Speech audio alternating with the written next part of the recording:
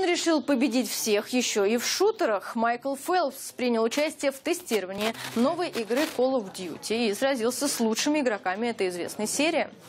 Калифорнии проходит трехдневный фестиваль, на который собрались тысячи фанатов Call of Duty.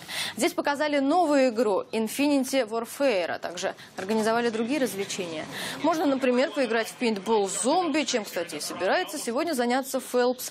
После того, конечно, как поставит новый личный рекорд в компьютерном шутере. Я пришел сюда, чтобы одним из первых поиграть в новую серию игр Call of Duty, а также узнать больше о чемпионате мира. Эти парни собирают команду из четырех человек, чтобы побороться за приз в 2 миллиона долларов. Так круто быть здесь и говорить с этими ребятами. Я ведь фанат Call of Duty уже давно, и вот 4 ноября выходит новая часть.